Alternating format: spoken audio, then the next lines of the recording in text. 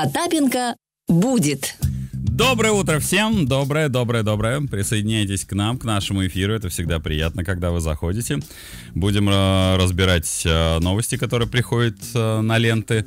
Э, сегодня вроде повестка будет спокойной. По крайней мере, мы надеемся, что нам ничего не подбросит э, извне. Да, друзья, э, у нас э, с сегодняшнего дня на постоянной основе э, милым, э, трогательным, любимым гостем э, станет Андрей Юджи Гаврилов. Э, в 10 утра рубрика будет называться «Точка зрения Андрея Гаврилова».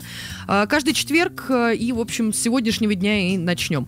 Э, время будет и на обсуждение новостей вместе с вами с 9 до 10, а сейчас в студии «Серебряного дождя» Даша Касьянова у нас. Здравствуйте, Дарья. Доброе Что утро. вас, сюда, что вас к нам привело в столь э, раннее утро-то? А, ребят, я Чё решила уделить внимание школьной неделе, которая вот завершается. Да. Прошло пять дней обучения, у многих детей по-разному. Где-то школы закрываются, где-то открываются только для одного ученика. В том числе нам а, пришло интересное письмо. Всё как Это, как обычно, э, письмо по- позвало в дорогу. Да, письмо пришло от э, родителей одного из учеников так называемой школы Щетинина. Мгм.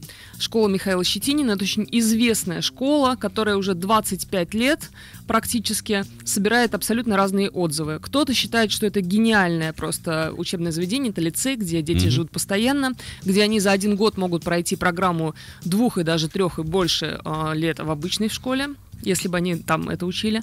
А, кто-то считает, что это секта. Вот такая история. Я в этом Ого. во всем разбиралась неделю. Я вам а, точно могу сказать, что за 6 лет моей работы спецкоровская это, наверное, самая сложная тема, потому что я вчера ну, не спала всю ночь, меня периодически перетрясало, я перечитывала все статьи, которые я нашла. Я неделю в ней копалась, я не сформировала до сих пор своего конечного отношения, поэтому буду это делать прямо с вами, прямо сейчас. Давай, слушай, давай да, такой Сотворение мира рассказывает эту историю. Как К- краткое, краткое вводное это то, Вводную, как да, э, да, дайте, в да. интернете, э, друзья, я еще раз подчеркиваю, мы постараемся со всех сторон разобраться в Мгм. этой истории. А, то, как в интернете описывают школу те люди, которым, например, это она нравится. Да, человек, проходивший обучение и вышедший из школы Щетинина, абсолютно готов к любой жизни, в любой точке пространства, в условиях нашего времени. Чем больше вот таких школ и успешных проектов, ведущих деятельность в направлении формирования именно личности, тем народ э, за счет выпускников этих заведений становится более развит, просвещен, осознан и силен в реальной жизни. И такие личности способны поднимать свой бизнес, других людей и страну, в которой они э, живут. С другой стороны, Давай. нам пишут, например, о том, что школа не соответствует нормам Санпина, что там нет учебников, что хореографию преподает облицовщик, один из преподавателей. Там и- вообще нет да, учителей, я вам да, скажу да, сразу. да. Там дети занимаются с детьми. Так, хорошо, милые дамы. В а, этом году ученики экспериментального лицея Михаила Щетинина в Краснодарском крае это находится в поселке Текс, это Геленджик. Присоединяйтесь к нам, если Звоните, слушаете. ребята, Очень важно ваше обязательно, мнение, вы наверняка об этом слушали, потому что это целый микрогородок. А, они рискуют провести год в общеобразовательных школах, потому что приехала комиссия накануне, и толком ничего не проверив, на самом деле, то есть таких проверок не было, вынесла решение о том, что это лицензированная, надо сказать, школа. Кстати говоря, по указу Владимира Путина она лицензирована была два года назад Мгм. работающая уже 25 лет по собственной методике, что она на 90 дней приостанавливает свою работу, потому что там, а, кстати говоря, у них было 36, по-моему, замечаний, примерно так, почти все их устранили. А, Проблема у них в основном сейчас заключается в том, что они не могут некоторые корпуса, построенные, внимание, детьми, а, правильно оформить. Вот это самое главное. Давайте разбираться с самого начала, как я пообещала от Давай. сотворения мира. Мы сейчас переносимся с вами в 89 год и слушаем а, молодого Щетинина, который выступает в Останкино и рассказывает о том, какой бы он хотел видеть свою будущую школу.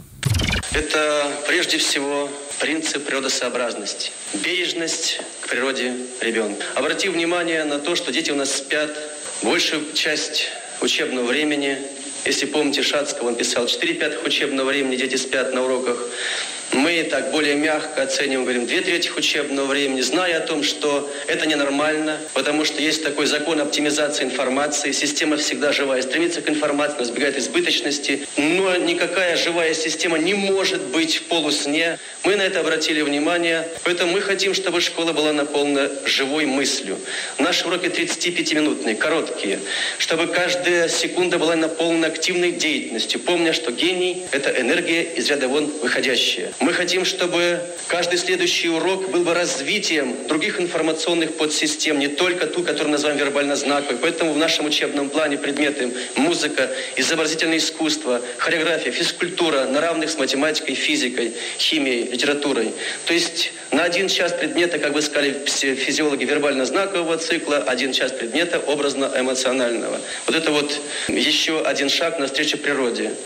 А надо сказать, что дети, которые там занимаются, танцуют на профессиональном уровне. То есть облицовщик, не облицовщик, там хореограф, неважно. Есть такой ансамбль, очень известный в России, называется «Колокола России», гастролирует по всей стране то, как там танцуют дети, это уровень, знаете, ну вот как девочка вообще ничем не занимается, кроме балета. Mm-hmm. Вот, вот так. Или, например, какие-то национальные танцы. Там же есть рукопашный бой, там очень много всяких действительно интересных образовательных программ внедряется. А, я за этим тоже следила. А вот, собственно, это а, сейчас мы послушаем Ивана. Он родитель одного из мальчиков, которые учатся в этом лицее. Собственно, с ним-то я и общалась. Михаил Петрович Щетин искал средства, сам строил здания, корпуса, все-все находил, находил, находил. Деньги и как бы развивал свою идею воспитания детей, что ребенок главный в системе образования, что там уникальная система образования, что ребенок за 2-3 года проходит всю школьную программу, и вот у меня сын, он там уже год отучился, его параллель сдала 8 класс, а он дал уже 9 класс, и в этом году собирался сдавать ЕГЭ. 15 лет. Ну, вот такая система там образования, что дети вовлечены, они в центре, им интересно учиться, и все-все-все. Мы э, читали из книг про эту школу, мечтали, поступали, поступили, учимся. И вот однажды мне сын звонит и говорит, папа, тут ходят люди, какая-то комиссия, хотят закрывать лицей. То есть приехал какой-то дяденька, группа, им что-то не понравилось, вплоть до того, что нету пандусов для инвалидов, хотя в лице инвалидов никогда не набирали. Э, самострой не все узаконены, но процесс идет, узаконивание это не такой быстрый процесс. Написали 36 предписаний, вот, подали в суд так, что э, представители лицея не, не, даже не знали об этом в суде. Они узнали просто о постановлении, что деятельность лицея приостановлена на три месяца, чтобы устранить замечания. Замечания, которые написаны, уже устранены. Из 36 пунктов 30 пунктов устранено, а 6 пунктов это вот ну, длительное что-то. Мне позвонили и сказали, вот вы знаете, лицей закрывают, вы должны своего сына перевести оттуда. Я говорю, какая-то прям у вас такая ну, трепетное отношение к моему ребенку, э, и почему я его куда-то должен отдавать, когда он его параллель закончил 8 класс, а он у меня ОГС дал в этом году. Он, в принципе, может ничего не делать. Нет, он должен где-то учиться. Я говорю, ну он будет учиться дома. Нет, он должен быть приписан к школе. Каждому ребенку из лицея позвонили родителям и начали на них, на нас оказывать давление. Там была истерика, многих детей не понимали, что происходит. Представители департамента образования говорили, если вас родители завтра не заберут, мы вас поместим в детские дома и приюты, ну и все такое. То есть лицей не должен существовать сейчас, он должен исправлять замечания и мы, наша позиция как родители, давайте вместе, что не соответствует, давайте вместе устраним. Мы как родители не знали, мы готовы все приехать и вместе тут что-то делать, оформлять документы, там, что, что, давайте, что делать. Мы хотим сохранить это лучшее образовательное учреждение в мире, не побоюсь этого слова, потому что там от ЮНЕСКО это всюду, ну, приезжают со всех стран и перенимают опыт обучения детей погружением, потому что это самое эффективное, что дети передают знания другим детям, они изучают материал, передают его дальше под присмотром руководителя. У них есть экипажные задания. Их уникальная методика изучения всего, и ну, никакой нет воды, все по сути, все вокруг ребенка. Ребенок хочет это изучать, он изучает это, хочет это изучать, изучает это. Давай пару слов да. про вот это самое погружение. Да, это, вот это самое слово. известное. Да, что... Значит, смотрите, а, из воспоминаний одного из выпускников а, школы Щетинина, а, там нет учебников, только концепции на доске от педагогов. Концепцию конспектируют, и если она непонятна, то разъясняют те, кто поняли. Пока не поймут, все без исключения. И вот как раз подробнее погружение происходит следующим образом. Дети вне зависимости от возраста делятся по группам, познают, цитата, образ предмета, осваивают, осваивают его каждый на своем уровне. Те, кто постигли его полностью, учат дальше остальных. Погружение при этом разбавлено работой, изучением танцев, рукопашного боя, а некоторые СМИ пишут, что вот действительно, как уже сказал э, родитель э, Иван, за один-два года проходит программу средней школы, а к совершеннолетию, опять же, я повторяю, так пишут СМИ, дети получают один-два высших образования в купе как минимум с парой рабочих профессий. Я позже расскажу про эти высшие образования. Давайте вернемся происходит. на грешную землю. Я правильно понимаю, что это, э, по сути дела, такой интернат? Да. Притом дети даже проживает- на каникулы не уезжают оттуда. Это раз. А, претензии, которые предъявлены в сухом остатке, это не претензии к а, лицею как а, образовательному учреждению, а как к зданиям и сооружениям. Именно. Это два. Третье, вот что меня больше всего волнует, когда мы говорим об уникальности и замечательности, а вот эта уникальность и замечательность, она... Ну, Кем то, что- признана? Ну да, потому что, ну хорошо, дети... ЮНЕСКо. Ну вот просто- ЮНЕСКо действительно приезжали и наблюдали Мгм. за этой школой. А, якобы она входила в список ЮНЕСКо. Сейчас я проверяла, я реально прошерстила все списки. Там сейчас в данный момент она не числится. Мгм. Это правда. Действительно, у Щетинина есть только одно образование. Он заочно окончил а, педагогическое училище по классу Баяна. К нему вопросов пока э, не имеем. Я просто пытаюсь понять э, результат. Дети, которые проходят быстрее, они э, потом, э, правильно я понимаю, что у них э, они хорошо поступают? То есть меня... Нет, я сейчас объясню. Вот это с университетами, институтами, они хорошо поступают? Не или... совсем. Они поступают в институты там же, на территории этого городка. Вот смотрите, ребят, Ага. давайте несколько сообщений. Вот Давайте. одно из них как раз по поводу ЕГЭ и поступлений. Пишет Давайте. нам Артем. Лично знаком со многими родителями, у которых дети учатся в школе Щетинина. Несколько преподавателей в школе, где учится наш сын в Сочи, работают по методике Щетинина, являются ее выпускниками. Очень хорошие, хорошие отзывы. Дети у них э, в 14 лет сдают ЕГЭ, легко поступают в вузы, написал нам Артем. И под видеотрансляцией комментарий. Школа Щетинина супер. Еще давным-давно по ее разработкам учились и учили. А, проверки. Знаем мы эти проверки. Да и вы знаете. Опять наверняка а, отжим здания. Одна из немногих школ, куда ученики хотят идти. Ребят, я напомню, мы разные отзывы принимаем Да, и и в том числе я тоже думаю, если честно, что вся, весь этот накат на школу идет, чтобы завладеть помещениями, которые, кстати говоря, а, сам Щетинин подарил государству вместе с детьми. То есть они сами построили когда-то эти корпуса и подарили их в а, собственность государства. И это никак не идет, допустим, обогащение за счет э, учеников или родителей. Ни копейки не заплатили за прошлый учебный год, за позапрошлый. Более того, давайте по-честному. То, что мы сейчас слышали про эту методику, примерно то же самое внедряется у нас здесь на Барвихе в Гусенке, но только стоит 150 тысяч в месяц. Понимаете? Примерно то же самое. Поэтому говорить, конечно, на 100% э, о чем-то очень сложно. Вот я говорю, я неделю копалась в этом, я разговаривала со всеми, Там с очень непростая учениками. история, да. Очень непростая. Вот, например, смотрите, чтобы послушать и другую да, а, сторону, я вам предлагаю послушать, э, как это объясняет комиссия. Вот встреча родителей и комиссии, которая Мгм. закрывала школу временно, вот что они говорят. Несоблюдение лицензионных требований в соответствии с регламентом и с постановлением правительства о лицензировании образовательной деятельности мы обязаны составить протокол об административном правонарушении и направить его в суд, что было сделано. Необходимое для устранения. Я пояснила? Нет, я, я не совсем еще один аспект, я задавал вопрос. Поясняю. Роспотребнадзора В э, случае обнаружения нарушений, которые к полномочиям министерства, типа Роспотребнадзора, Госпожнадзора, или если есть сомнение, что образовательная деятельность ведется вообще в образовательной организации, потому что было увидено, а может быть это просто выдача документов там идет, мы сообщаем соответствующие инстанции, в Роспотребнадзор, в Госпожнадзор, в, прав- в прокуратуру, в правоохранительные органы, мы везде пишем письма. Это бывает не только при проверках, но и при рассмотрении обращений. То есть в любом случае мы должны в соответствии с регламентами и законом об образовании проинформировать тех, кто за это отвечает. Вот таким образом. Хорошо, тогда поясните, по какому праву мы сюда приехали, без каких-либо на то разрешений. Не было предъявлено никаких документов, протокол был составлен вечером дня проверки, и было предложено нашему руководству подписать этот протокол. Они приехали сразу же вместе с вами, то есть не было какого-то осмотра произведено помещений, чтобы вынести какое-то такое, знаете, представление, что есть антисанитария и все остальное. За действия Роспотребнадзора и Госпожнадзора ответственности не несу. Первое. Второе. Я их не видела. Например, я как вот руководитель, э, проверяющая сторона. В это время мы занимались проверкой образовательной деятельности. Поэтому я не могу вам пояснить, что они составили и как составили.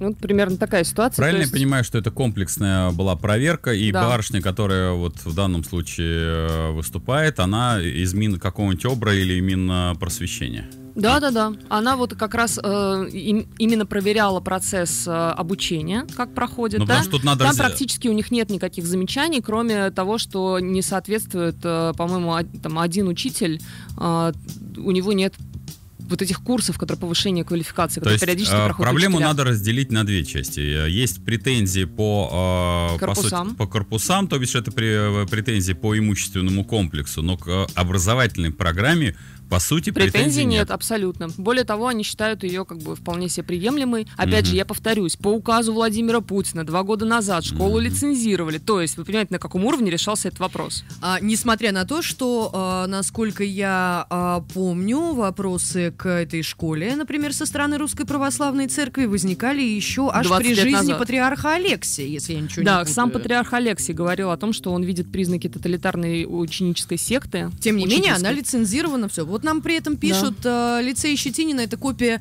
Азазель Бориса Акунина, та же секта с изучением диверсионного почему-то дела. М, Давайте это- э, подключать это фантазия. слушателей. А, да, кстати, я забыла сказать, ребят, каждый раз, когда про- происходит набор, то есть туда берут Мгм. только детей уже взрослых, там 12-14 лет, там по 300 человек на место. Ну, надо полагать. То есть Да, это, это, конечно. это старшие классы, по сути. Да, это вот если у тебя есть уже начальное а, образование, да, понимание предметов, то есть тебя там берут в 12, 13, 14 лет, притом ты можешь оказаться в группе по изучению, например, математики с детьми, которые чуть младше или чуть Мгм, старше мгм. тебя. Тут вопрос как бы рвения твоего, что ты сам хочешь изучать, и ну, того, как ты это делаешь. Вот и все. А, доброе утро, здравствуйте. Доброе утро.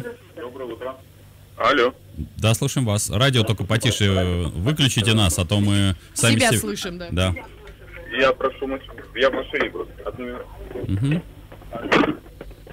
Алло, да. А вот теперь, наверное, так. Да, теперь А, ну, однозначно лучше. Слушаем вас. Мгм. Я учился, ну, раньше назывался это лицей-интернат комплексного формирования личности детей и подростков, ну, школа Щетинина. Так вы бывший, А, получается, ученик. Как-как? Вы бывший ученик этой школы, вы прям Да, закончили ее. абсолютно верно. Я учился с, со второго по третий год 2002 2003 год. Ну, два года я учился. Мгм. Как раз примерно во время пожара я застал. А я знаю, что Ну, несколько раз поджигали, да, школу и пытались ее закрыть. Она вот несколько А, было ну, не уже. знаю, насколько поджигали, то есть я, я- это как бы, ну, ра- разбираться, наверное, органам нужно, а Мгм. как бы не нам с вами. Но, как бы, да, был такой инцидент. И кого, каково ваше впечатление от школы? Э, ну, вы знаете, хорошее впечатление со временем. А, ну, прошло достаточно много времени, то есть, как бы, а, я не закончил ее, то есть, я не, я не сдал ЕГЭ, там, как бы, и так далее. Я это делал уже в другой школе, но я поступил в институт, закончил, как бы, ну, да, сейчас по профессии я не работаю, но работаю, как бы, у меня есть и большой бизнес. А Ну- вот, а вот сравнивая, скажем так, э, школу Щетинина с, э, по сути дела, я так понимаю, с общеобразовательной. а, Нет, э, это не, как бы, поймите правильно, это интернат, где ты живешь, где, как бы, ты мгм. а, занимаешься спортом, как, как с самого утра до самого вечера, то есть, ты абсолютно занят, то есть, это никак нельзя сравнивать, это абсолютно разные вещи. М. В школу ты пришел и ушел, то есть, да, то есть отучился, сделал какие-то как бы уроки, посидел, то есть, а там совсем по-другому. Но вам было комфортно там? Почему вы вообще ушли? М, Ну, разные причины на самом деле, то есть это нельзя так как бы просто взять и сказать, то есть, ну, причин было много, и я посчитал, что будет лучше, если чтобы я закончил 11 класс в другом месте. Мгм.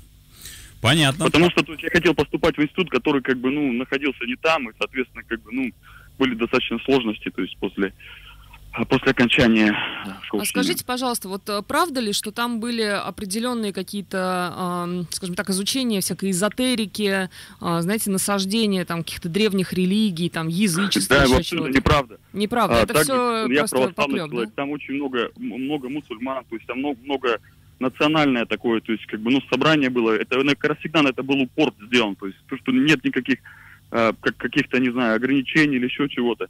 То есть и уж точно, то есть каких-то насаждений древнерусской культуры, еще такого нет. Это все было как бы, ну, может быть, а- оформление какое-то графическое. Если вы были, вы видели, там очень много рисунков. То есть, да, они выполнены в каком-то таком старом, может быть, славянском стиле, еще что-нибудь. Ну, это не, не более того. Не более чем стиль оформления. Да, спасибо, спасибо, Спасибо. огромное. А, друзья, а, мы ждем ваши комментарии в прямой эфир. Звоните. И не только по этой пишите. школе, но и по вообще подобным школам как таковым, потому что интересно именно ваше мнение, то, что у нас действительно начался учебный год, и крайне важно а, понять, а, где учить детей. Это в- краеугольный камень, я считаю. То, что происходит со школой Щетинина, мы продолжим разбираться через несколько минут. Э, До конца этого часа у нас Даша Касьянова в студии. Оставайтесь с нами. Потапенко будет. Доброе утро к тем, кто к нам только что присоединился. Мы обсуждаем школу как таковой, вообще альтернативные об- э, формы обучения. Кто-то дам- на домашнем сидит, вот есть э, э, Да, и в школа, Щетинина, да. Обсуждаем лицей Михаила Щетинина, который сейчас закрыли временно и, возможно, закроют э, навсегда. Детей расформировывают.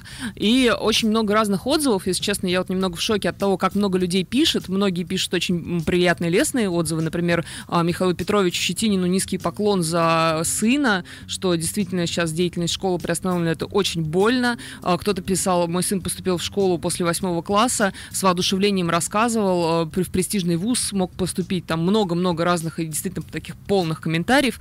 Ну вот в том числе сами дети этого лицея записали несколько обращений. То есть дети, которые, например, из Чечни, которые там учатся, писали обращение к Рамзану Кадырову, кто-то к другим. Ну то есть вот Кому как- еще писать? Везде, да, везде писали эти обращения. Давайте послушаем, как это звучит. Давайте послушаем, после чего пообщаемся со слушателями, которые тоже хотят рассказать свои истории. Мы лицеисты. Лицей-интернат комплексного формирования личности детей и подростков. Наш лицей был основан в 1966 году Штининым Михаилом Петровичем по его уникальной методике. Эта школа действительно формирует личность, учит детей ценить и защищать свою страну. Наш лицей многонационален. Здесь учились и учатся дети из Чеченской Республики. Именно благодаря ним мы знаем про истинных чеченцев.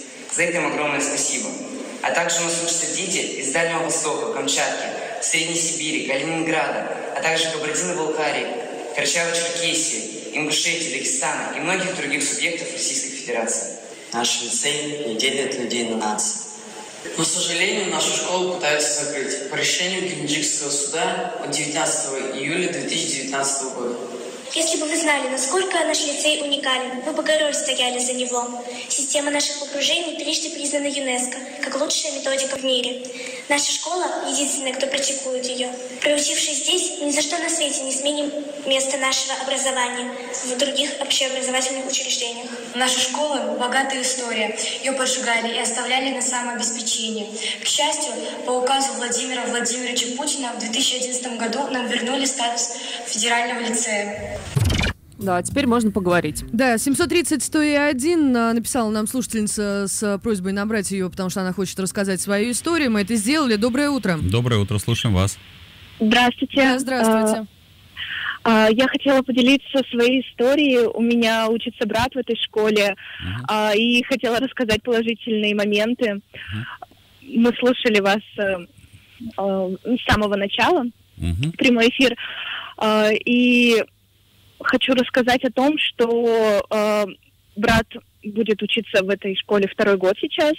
А, К сожалению, деятельность приостановили, а, но Ваня не собирается идти в обычную школу, отказывается, а, рад обучаться, что поступил в лицей имени потому что а, поступать тяжело, отбор э, серьезный. А, дети приезжают со всего мира, и возможность учиться там это большая удача, честь. А, и мы хотели бы поблагодарить всей семьей Михаила Петровича за то, что есть такая школа, а, потому что мой брат кардинально поменялся, он стал настоящим мужчиной. Ему сейчас, получается, в этом году будет 13 лет, но э, его знания, его оценка мира, э, любознательность, все совершенно изменилось и в очень хорошую сторону. Да, спасибо. Я- Да, так интересно, был случай, что он приезжал зимой на каникулы домой, э, отпустили на некоторое время отдохнуть, и я сидела, делала домашнее задание э, за 10 класс, э, алгебра, тригонометрия, и э, мой брат подходит, э, а он должен был обучаться в пятом классе, и говорит, Маша, смотри, вот тут вот пи на 6, э, корень из трех на 2.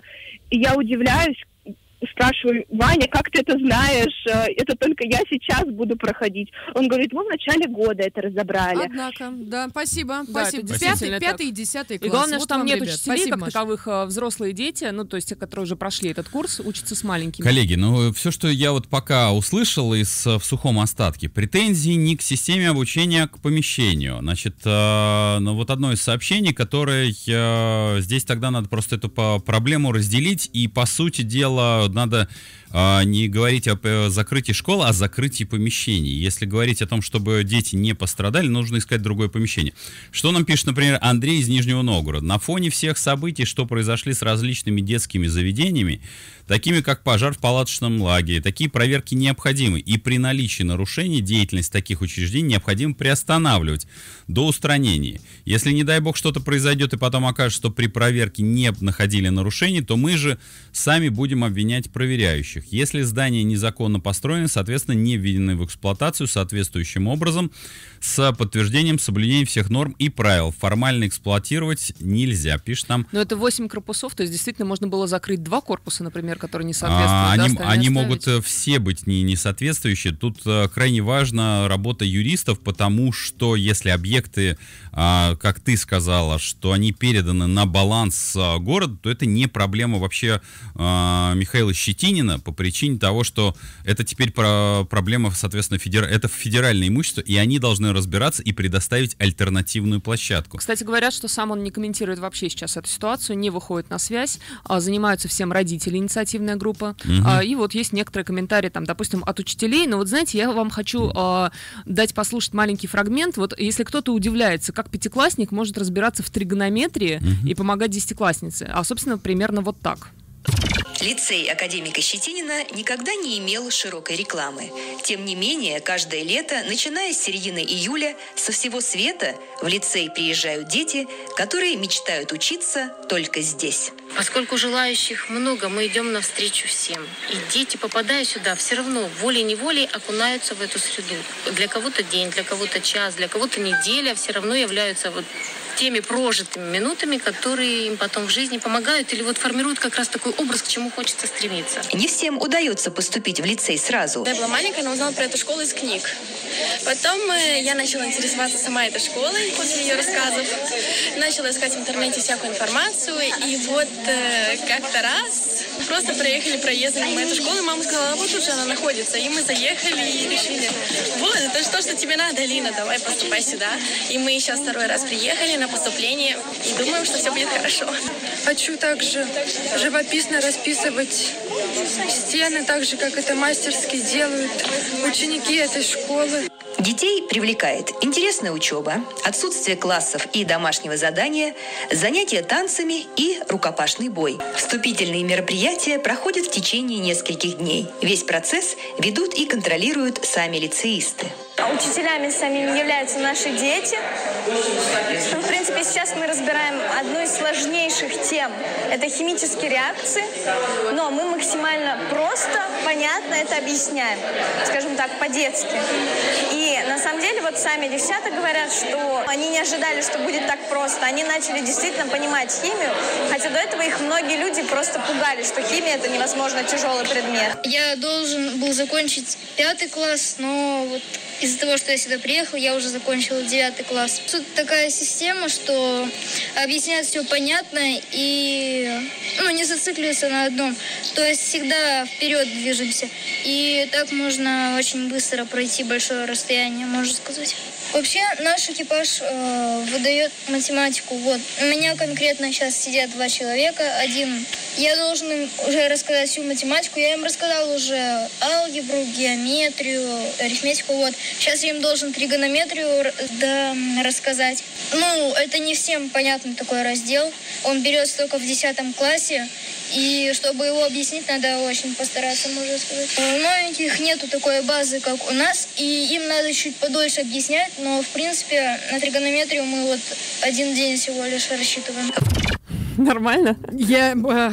э, Мне и три года, мне кажется, не, не хватит. Да. Ну, подождите, это все, это, конечно, понятно, что это дети эмоционально объясняют. Э, Я допускаю, что как раз школы-интернаты были всегда, и погружение действительно давало огромный прогресс. Э, Вопрос, насколько дети дальше социализируются, все-таки, я так понимаю, что Да, они ребята, очень... это очень большой вопрос на самом деле, Потому, потому, что они не общаются с родителями или, или Да, очень ограничены. Они, более того, они общаются с другими сверстниками за пределами этого лицея-интерната и э, не выходят за него слишком много, как вот отпускают на несколько а, дней. И очень многие обвиняют в том, что это секта. Знаете, почему еще? Вот Мгм. есть такой Александр Дворкин, он сектолог. В том Мы его числе- послушаем в последние Давайте, пять минут Да, часа. по-честному скажем, что он уже. сам около религиозный фанатик, и что доверять этому человеку, вот я бы лично на 100% Ну, не стала. Но понятно. в своей теме он, конечно, хорошо разбирается. Смотрите, давайте-ка я вот так вот вам наброшу. А, значит, а, во-первых, с одной стороны, Дим, а, мы очень часто с тобой в эфире обсуждаем а, такую тему, как воспитание Мгм. людей нового